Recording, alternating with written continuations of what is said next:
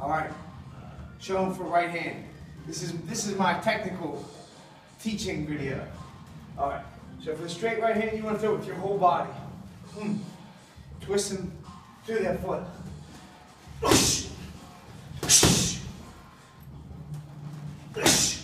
You want to throw with intention to hurt. Then you want to mix it up with the right hook. But that's where you get your ass into it. So you go.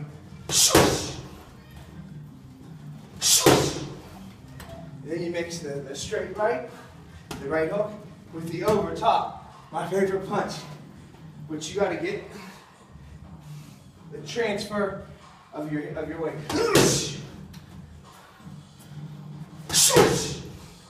That's good. All right. That's We're back to the straight. So watch the whole body. Punching with intention.